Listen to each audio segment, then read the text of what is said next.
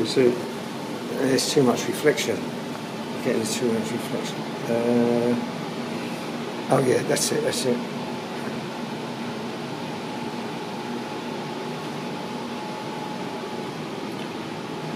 So this painting here that I'm showing is, is uh, Botticelli's painting of uh, the Adoration, and it's the story of the three kings, uh, and Botticelli's painted it um, really to kind of show how he can formulate that composition of all these different characters coming to to meet the infant Christ child for the first time. Um, this is in room 57 at the National Gallery. It's one of my favourite paintings just because of the way he manages to create that composition.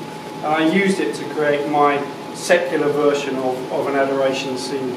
In my painting, the adoration is about the football team and the money involved in the football team. It's the Emirates Stadium here. You know, you can see the gold paint that I've used shining onto the Emirates sign there.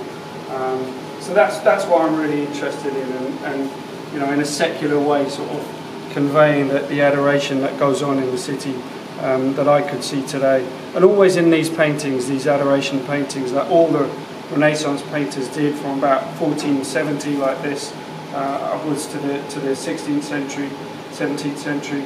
There's always some structure in the background that kind of links the composition. And for me, it was the Emirates Stadium. Um, and we'll go and have a look at another painting that I made about Millwall now. Um, and